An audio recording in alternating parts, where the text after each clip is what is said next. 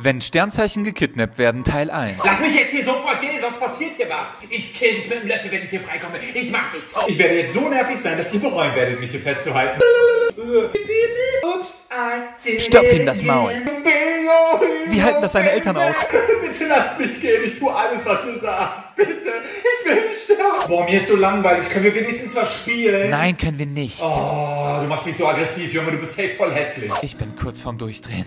Ich habe so eine scheiß Angst. Meine Hose ist auch schon ganz nass. Aber ich werde keine Schwäche zeigen. Ich halte durch. So, ihr kleinen Pisser, was habt ihr vor? Ey, Junge, das nennst du Fesseln. Warte mal, guck mal, Zaubertrick.